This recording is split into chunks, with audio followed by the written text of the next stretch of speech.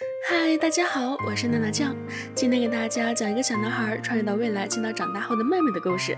未来的未来，小军家里多了一个新成员。小军妈妈生了女孩。起初，小军对妹妹很好奇，也很喜欢。爸爸为了妹妹，把工作调到家里当家庭主妇，却总做不好。妈妈也只照顾妹妹。一天，小军把自己的玩具拿出来和妹妹分享。妈妈看见了，呵斥了小军。小军觉得委屈极了，于是小军就去教训妹妹，把熟睡中的妹妹弄哭了。妈妈又呵斥了小军。小军抱住爸爸的腿，想寻求安慰，爸爸却只哄妹妹。小军更加委屈了。小军哭着跑到院子，突然，院子里的树发光了。他看到院子里坐着一个中年男子。原来，这个中年男子是这个家里的宠物狗。他说。自己在小军没出来之前，爸爸妈妈也是叫他宝贝，每天夸赞他，对他很好。可是，在小军出现之后就变了。小军拔下他的尾巴，插在了自己身上，变成了一只小狗，在庭院里到处乱窜。这只是个虚拟世界，小军还是回到了现实生活中。晚上，爸爸妈妈给妹妹取了个名字，叫未来。到了女儿节，妈妈给未来摆起了人偶。小军和未来的爷爷奶奶也来了。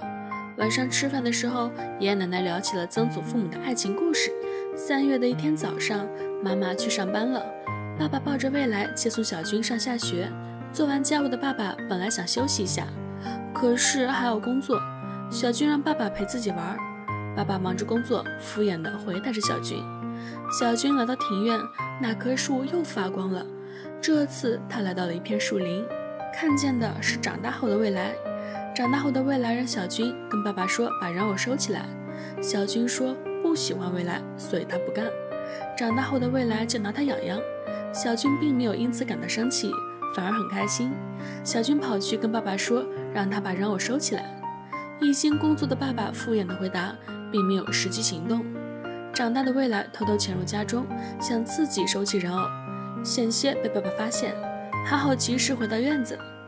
一天中午，不收拾玩具的小军又被妈妈呵斥了。生气的小军来到了院子，这次他看到了小时候的妈妈。小时候的妈妈告诉小军，自己有个弟弟，他不喜欢弟弟。小时候的妈妈带着小军来到家玩，把家里弄得乱七八糟。这个时候，小时候妈妈的妈妈回来了，把他骂了。晚上，小军看着熟睡中的妈妈，小军好像明白了什么。第二天中午。爸爸教小军学骑自行车，摔了好几次的小军在爸爸怀里哭了起来。不一会儿，未来也哭了起来。爸爸赶忙去抱起未来，不论小军怎么叫爸爸，爸爸都没有理会。回家后，小军生气地把帽子扔在树下。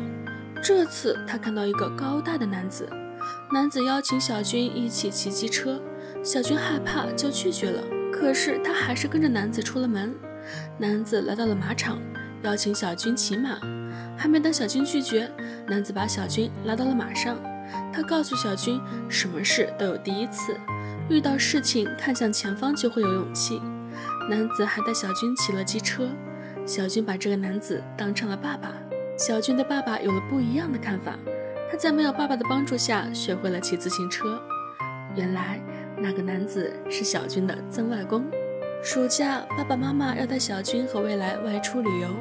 小军要穿黄色的裤子，因为黄色的裤子洗了没干，爸爸就给他穿蓝色的裤子。小军生气地躲在了衣柜里。等他出来的时候，爸爸妈妈都走了。小军以为爸爸妈妈不要他了。正当他背起书包要出门时，院子里的树又发光了。这下他来到了车站，人来人往的车站使小军感到害怕。他来到事务招领处，他们问小军爸爸妈妈叫什么名字，小军都不知道，所以不能进行登记。没人认领的小孩是要被流放的。小军正要被强行带上车的时候，他看到未来也要被强行带上车。小军救下妹妹，此时他喊出自己是未来的哥哥。原来小军在虚拟中迷路了，长大的未来带小军走了出来。他带着小军飞向庭院里的那棵树，在时光轨道里，小军看到爸爸小时候也因为学自行车吃了很多苦，看到曾祖母跑步故意输给曾祖父。小军再也不讨厌未来了，他拿出包里的香蕉给未来吃，爸爸妈妈也没有走，他们在收拾着行李。好好的珍惜当下吧，生活中总有些人改变着你，但你更应感谢那些陪伴你成长的人。好了，以上就是今天电影的全部内容。